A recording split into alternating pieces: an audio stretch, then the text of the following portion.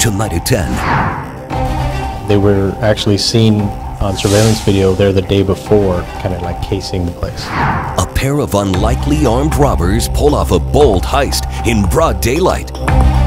Two teenage girls pull a robbery at an upscale shopping center. One pulls a gun. It's all caught on camera. News 4 Tucson Crime Trackers. Brazen Bandits. Tonight on News 4 Tucson at 10.